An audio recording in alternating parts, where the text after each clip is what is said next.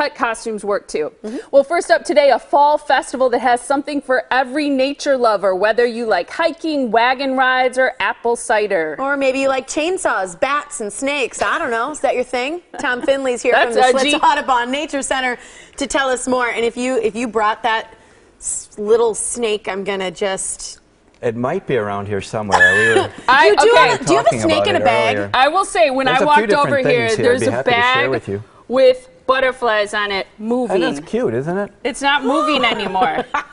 That could be good. You got to stay tuned. Okay, wherever it is, I want nothing to do with it. But you have some stuff. What's Sure. going on this weekend? What do you guys have Sure. going Well, on? thanks for having me. It's uh, Yeah, it's our thanks annual. for having me, right? so happy to be here after you ripped me apart.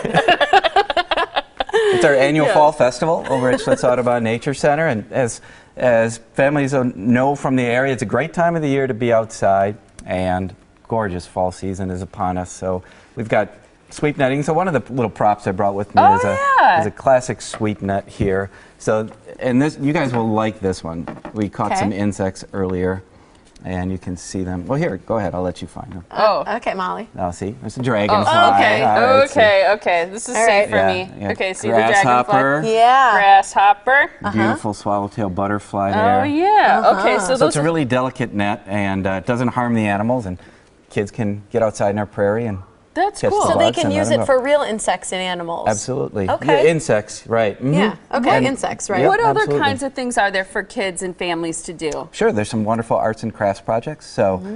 of course, kids love to decorate cookies, so they'll be doing that. This is a uh, Native American craft, actually. Oh, that's cool. That's a Corn corn, husk doll. Yeah. That so is really cool. Yeah, it's, okay. it's neat. It's recycled in a way because a corn husk would be Will they waste make that? material. hmm Okay. We have that. We have that there for them, and so they can make the cookies, decorate the cookies, and take home a little corn husk doll too. That's really Why cool. do you want kids to come out and enjoy the, the Schlitz Audubon Center? What's the purpose of getting them there? Getting outside is so healthy for us. I mean, think about the mental and physical benefits that being outside gives to our families. A lot of us take that for granted, right? We grew up that way, but Yeah. in today's world, we're all plugged in, and so sometimes it's good to unplug a little bit, get outside, and fall is a wonderful time to do it. And so this Sunday, the 11th, it'll be from 10 a.m. to 4 p.m.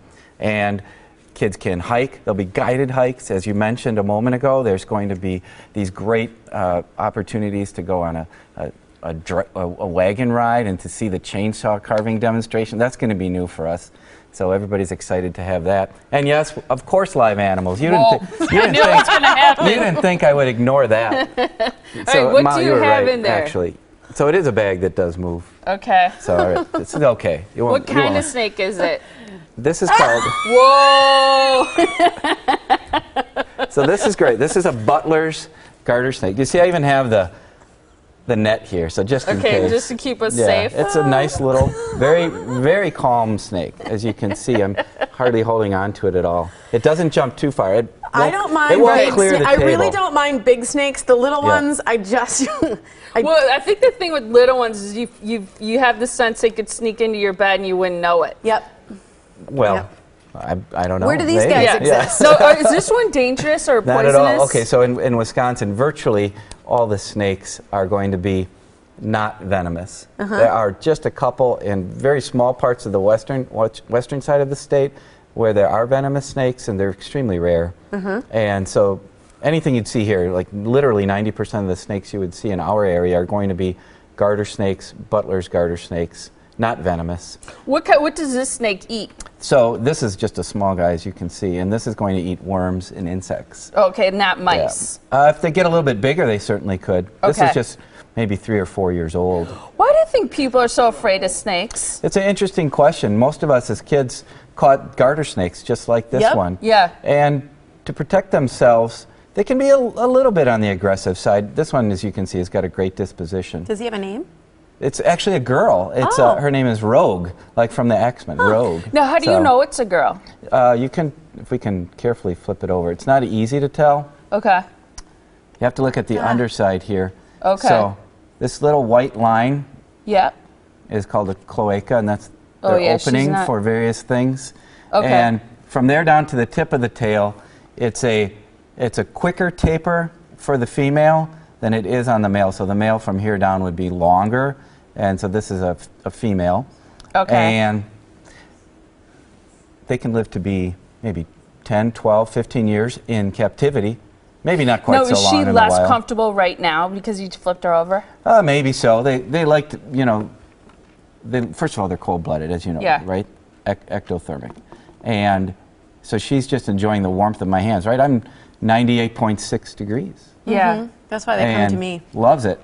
So So yeah, it's, it's feeling good. But they they want to find a nice dark little spot to, to hide in, which is why it likes the the bag, which is just a travel bag. Keep in mind, it doesn't live in there. We have a nice tank for it at the nature center. That's fantastic. I think it's great for kids to be able to see things like this up close and personal. Maybe it helps reduce fear in some of us to be able to see it a little bit more up close and personal. They, they, they're really calm as long as you know how to handle them and you aren't afraid. They, Mm-hmm. Yeah. they can snap or bite to defend themselves, and sometimes they musk, but you know, really, the, it's a decent animal. It's all you, Yeah. Tom. Yeah. It's all you. decent- That's- animal. thanks. Fall. Festival at the Schlitz Audubon Center is going on on Sunday, October 11th. It's from 10 to 4.